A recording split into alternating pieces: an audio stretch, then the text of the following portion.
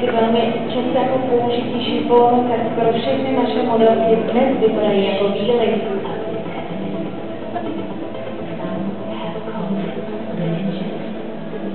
Ha, ha, ha.